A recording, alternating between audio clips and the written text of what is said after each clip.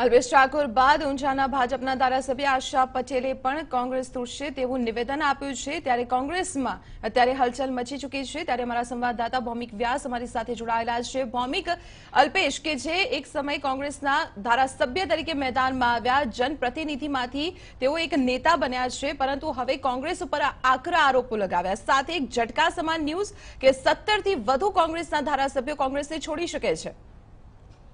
દીપાલી, અલ્પેશ ઠાકોર છે, તેની નારાજગી કોંગ્રેસની સામે ઘણા સમયથી છે અને તે નારાજગીને કારણે તેમણે પક્ષ છોડ્યો હતો. એટલે કે ધારા કોંગ્રેસના સભ્યપદેથી રાજીનામું આપ્યું. અલ્પેશ ઠાકોરનું કેવું છે કે કોંગ્રેસમાં કોઈ સંગઠન નથી. જ્યારે પણ ચૂંટણી આવે છે, ત્યારે નેતાઓ સૌથી વધારે સામે મળે છે. અલ્પેશ ઠાકોરે આરોપ લગાવ્યો કે કોંગ્રેસની પાસે જનાધાર નથી. જનતાના અનેક પ્રશ્નો છે, અનેક સમસ્યાઓ છે. તેને કોંગ્રેસ લોકોની સાથે ઉઠાવવામાં નિષ્ફળ ગઈ છે. અલ્પેશ ઠાકોરે તે પણ આરોપ લગાવ્યો કે માત્ર એસી ચેમ્બરમાં બેસી અને વાતો કરનાર નેતાઓની પાર્ટી બની ગઈ છે. આ કોંગ્રેસ પાસે નથી, બુથ લેવલનું મેનેજમેન્ટ. આ કોંગ્રેસ પાસે નથી, કાર્યકર્તાઓનું સંગઠન. મતલબ સાફ છે કે અલ્પેશનો આરોપ છે કે માત્ર ને માત્ર નેતાઓ આ પાર્ટી ચલાવી રહ્યા છે. અલ્પેશનું કેવું છે કે જે ધારાસભ્યો બન્યા છે કોંગ્રેસમાંથી વીસ વીસ વર્ષથી સત્તાની બહાર રહ્યા છે, તે અને એની નારાજગી જ્યારે સામે આવી ત્યારે ભાજપે તેને તક આપી અને તેને સરકારમાં મોકો મળ્યો અને તે જ કારણોસર તે લોકોના કામ કરી શકે છે. તે જ કારણોસર અલ્પેશનું કેવું છે કે આવનારા દસ વર્ષ સુધી હજી કોંગ્રેસ ગુજરાતમાં બેઠી નહીં થઈ શકે. કારણ કે અલ્પેશ ઠાકોર પોતે એક જનપ્રતિનિધિ હતા, કોંગ્રેસની ટિકિટ ઉપર ચૂંટાયા અને ત્યારબાદ તેમણે અનેક વખત પોતાની નારાજગી છે દિલ્હી હાઈકમાન્ડ સામે વ્યક્ત કરી. પણ જ્યારે અલ્પેશ ઠાકોરને એવું લાગ્યું કે તેનું અને તેના સેનાના સભ્યોનું કોઈ સન્માન જળવાતું નથી, ત્યારે તેમણે પક્ષને અલવિદા કહી દીધી. હવે અલ્પેશ ઠાકોર ખુલીને મેદાનમાં આવ્યા છે. ગઈ આવ- ગઈકાલે તેમણે નાયબ મુખ્યમંત્રી નીતિન પટેલ સાથે મુલાકાત કરી, લગભગ એકથી દોઢ કલાક મુલાકાત ચાલી. પણ મીડિયા સામે કંઈ પણ કહેવાનો ઇનકાર કર્યો, તેમણે કીધું કે રાહ જુઓ અને થોબોની નીતિ અપનાવો. આજે પણ તેમનું કેવું છે કે આવનારા સમયમાં લગભગ ઘણા ધારાસભ્યો છે તે સંપર્કમાં છે અને તે કદાચ કોંગ્રેસને મોટો ઝટકો આપી શકે છે. પણ સૌથી મોટો સવાલ છે અલ્પેશ ઠાકોર અને ધવલસિંહ ઝાલાનો. અલ્પેશ ઠાકોર ખુલીને કંઈ બોલતા નથી, પણ અલ્પેશ ઠાકોરની જે મુંહમાંથી જે પ્રશંસા નીકળી રહી છે કે ભાજપ છે કે પ્રધાનમંત્રી નરેન્દ્ર મોદી, તે ચોક્કસ એક વાતનો સંકેત આપે છે કે આવનારા થોડા દિવસોની અંદર કે થોડા સમયની અંદર અલ્પેશ ઠાકોર કદાચ બની શકે કે ભાજપમાં પ્રવેશ મેળવી શકે છે. તેની સામે જ અલ્પેશ ઠાકોર ખુલીને કોંગ્રેસની સામે આવ્યા છે. અલ્પેશ ઠાકોરે ત્યાં સુધી કીધું છે કે જ્યારે પણ ચૂંટણી આવે છે, ત્યારે માત્ર વાતો થાય છે. સંગઠન કે કાર્યકર્તાઓ કોઈ પણ પ્રકારનું કાર્ય કરતા નથી.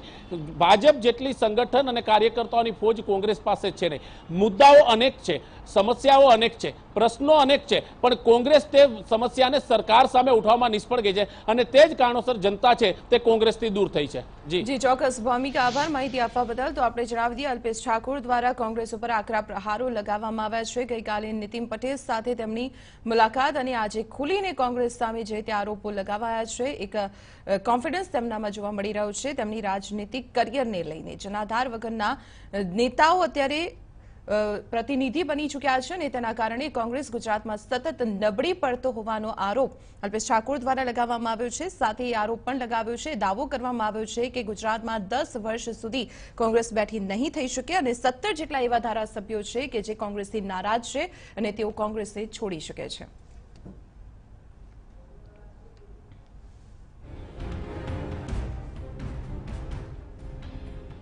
ત્યારે આપણી સાથે ફોનલાઈન પર કોંગ્રેસ પ્રવક્તા મનીષભાઈ દોશી પણ જોડાયેલા છે. મનીષભાઈ, અલ્પેશ ઠાકોર કે એક સમયે આંદોલનકારી નેતામાંથી કોંગ્રેસે તક આપી તેમને ધારાસભ્ય બનાવ્યા. પરંતુ હવે કોંગ્રેસ સામે જ જે રીતે ખુલીને બોલી રહ્યા છે કે જે લોકો નબળા છે, તેઓ કોંગ્રેસમાં નેતા બની બેઠા છે ને એટલા માટે કોંગ્રેસ નબળી પડી રહી છે. આપ શું કહેશો આ મામલે? મને એમ લાગે છે આમ તો અમને કોઈ આશ્ચર્ય નથી. કોંગ્રેસ તેમને પંજાના નિશાન ઉપર વિધાયક બનાવ્યા અમારા કાર્યકર્તાઓએ મહેનત કરી. ત્યારબાદ એમને રાષ્ટ્રીય સચિવ પદ આપવામાં આવ્યું. એમને સ્ટાર કેમ્પેનર બનાવવા એટલે પક્ષ વિરુદ્ધ કેટલાય વખત તેમાં સત્તાવાર પક્ષના ઉમેદવાર લોકસભામાં હતા તેમની વિરુદ્ધ કામ કરવું આ બધી બાબતોને ધ્યાનમાં લઈને અમે કાનૂની રીતે તેમની ઉપર શિસ્તભંગના પગલાં લેવા માટે અમે જે કાર્યવાહી શરૂ કરી દીધી છે, એટલે એમને અત્યારે એવું લાગતું નથી કે તેઓ કોઈ વાત હોય. અને જ્યાં સવાલ ખરેખર જે મુદ્દાને લઈ અલ્પેશભાઈ જે રીતે આખા રાજ્યમાં નીચાતા નેતૃત્વ કરવામાં એ મુદ્દાઓ આજે ક્યાં છે. મહેશભાઈ અલ્પેશ ઠાકોરનો મોટો આરોપ એ છે કે કોંગ્રેસ નબળી પડી રહી છે. આપ એ વાતને માનો છો? શું હવે કોંગ્રેસને અહીં આ મુદ્દે મંથન કરવાની જરૂર?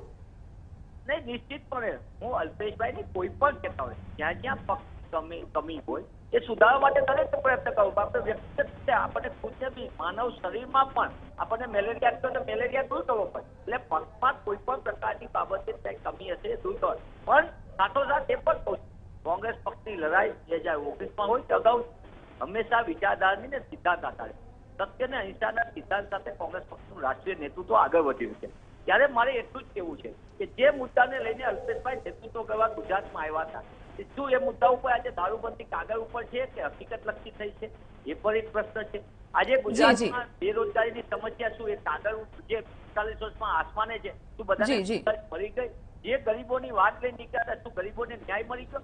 આટલી વાત પોતાનું મૂલ્યાંકન કરે તો મને એમ લાગે છે કે ફક્ત ઉપર જી, ચોક્કસ અલ્પેશે, તો મૂલ્યાંકન કરવાની જરૂર છે, પરંતુ અહીં કોંગ્રેસને પણ મૂલ્યાંકનની જરૂર છે. મનીષભાઈ, આભાર માહિતી આપવા બદલ. તો આપણે જણાવી દઈએ કે અલ્પેશ ઠાકોર દ્વારા જે ગંભીર આરોપો લગાવવામાં આવ્યા છે, તેને કોંગ્રેસ અત્યારે ફગાવી રહી છે અને સીધા આરોપ અલ્પેશ ઠાકોર પર પણ લગાવવામાં આવી રહ્યા છે કે અતિ મહત્વાકાંક્ષા તેમની અહીં જોવા મળી રહી છે અને તેના કારણે જ તેમણે કોંગ્રેસને બાય બાય કર્યું છે.